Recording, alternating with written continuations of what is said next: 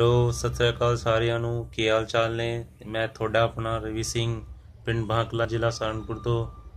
ਇਹ ਮੈਂ ਪੰਜਾਬੀ Song ਲਿਖਣੇ ਸਟਾਰਟ ਕੀਤੇ ਨੇ ਤੇ ਉਹਨਾਂ ਦੇ Song ਵਿੱਚ ਲਿਖਿਆ ਇੱਕ Song ਸਵਾਲ ਦੀਆਂ ਲਾਈਨਾਂ ਥੋੜੇ ਅੱਗੇ ਪੇਸ਼ ਕਰਨ ਲੱਗਿਆ।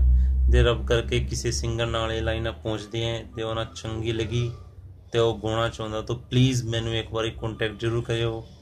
ਮੇਰਾ ਕੰਟੈਕਟ ਨੰਬਰ ਹੈ 9910112642 ਤੇ ਮੇਰੀ ਫੇਸਬੁੱਕ ਆਈਡੀ ਨੇ ਰਵੀ ਗੁਜਰ 107@gmail.com ਤੇ ਮੈਂ ਕੁਝ ਲਾਈਨਾਂ ਥੋੜੇ ਅੱਗੇ ਗੋ ਕੇ ਸੁਣਾਦਾ ਤੇ ਮੈਂ ਖੁਦ ਕੰਪੋਜੀਸ਼ਨ ਕਰਨ ਦੀ ਕੋਸ਼ਿਸ਼ ਕੀਤੀ ਹੈ ਤੇ ਮੈਂ ਥੋੜੇ ਪੇਸ਼ ਕਰਨ ਲੱਗਿਆ। ਹੂੰ, ਗਿਣ ਗਿਣੇ ਹੰਝੂ ਨੀ ਮੇਰਾ ਤਾਂ ਕੱਟੀਆਂ। ਸ਼ੱਕ ਨਾ ਕਰੀ ਵੇ ਮੈਂ ਤਾਂ ਤੇਰੀ ਜੱਟੀਆਂ। ਗਿਣ ਗਿਣ ਹੰਝੂ ਨੀ ਮੈਂ ਰਾਤਾਂ ਕੱਟੀਆਂ। ਸ਼ੱਕ ਨਾ ਕਰੀ ਵੇ ਮੈਂ ਤਾਂ ਤੇਰੀ ਜੱਟੀਆਂ। ਐਵੇਂ ਲਾਈ ਨਾ ਤੂੰ ਝੁੱਟੇ ਮੁੱਟੇ ਲਾਰੇ ਵੇ ਔਖੇ ਜਿੰਦੜੀ ਦੇ ਹੋ ਜੂ ਕੱਟਨੇ ਸਾਲਨੀ ਗਲ ਗਲੀ ਉੱਤੇ ਲੜਿਆ ਨ ਕਰ ਤੂੰ। ਲੋਕਾਂ ਲਈ ਬਣ ਜਾਣਾ ਏ ਸਵਾਲ ਨੀ। ਗਲ ਗਲੀ ਉੱਤੇ ਲੜਿਆ ਨਾ ਕਰ ਤੂੰ। ਲੋਕਾਂ ਲਈ ਬਣ ਜਾਣਾ ਏ ਸਵਾਲ ਨੀ।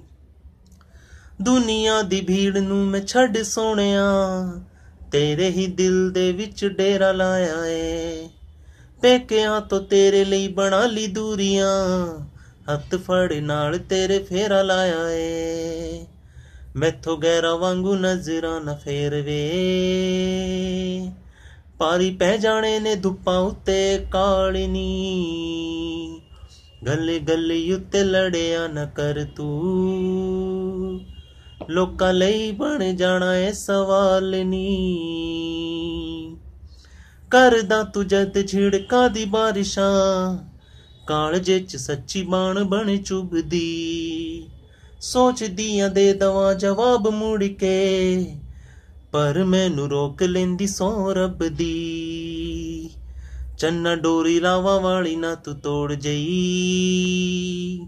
ਕਿੱਥੇ ਘੇਰ ਨਾਲੇ ਦੁੱਖਾਂ ਵਾਲੇ ਚਾਲਨੀ ਗੱਲ ਗੱਲ ਉੱਤੇ ਲੜਿਆ ਨਾ ਕਰ ਤੂੰ। ਲੋਕਾਂ ਲਈ ਬਣ ਜਾਣਾ ਏ ਸਵਾਲ ਨੀ। Thank you